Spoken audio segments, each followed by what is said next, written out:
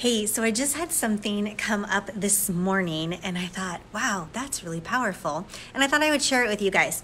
So I work up at Lane Community College and um, I have a student who's coming in and wants to have a private room to take an exam, which is totally good by me because she gets distracted and she also needs extra time on the exam.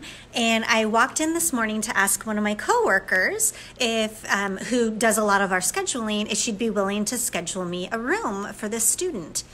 And my coworker looked at me and says, Well, you should be able to do that. And I was like, Oh, no, no, I was told I didn't have access to be able to do that and I can't schedule that. And she's like, No, you should have access to be able to do that. Everybody has access to be able to do that. And I was like, What?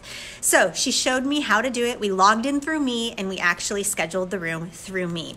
And I thought, Wow, okay, so someone once told me way back a while ago when I first started working here that I didn't have access to something. I wasn't able to do something. And then I didn't do it. I never tried. I never attempted to. I just thought, well, I can't do it because I believed that I couldn't. Well, then lo and behold, I actually had the ability to the entire time and I never knew because I never tried. And although it's a silly example of scheduling a room, it's a powerful point that we all have beliefs on what we can do and not do. And when we decide we can't do something, either because we just decided or because someone tells us that we can't, we definitely won't do it. But then all of a sudden it can be opened up to you when you realize that actually you can do it. Food for thought for today. I hope you guys have a wonderful day.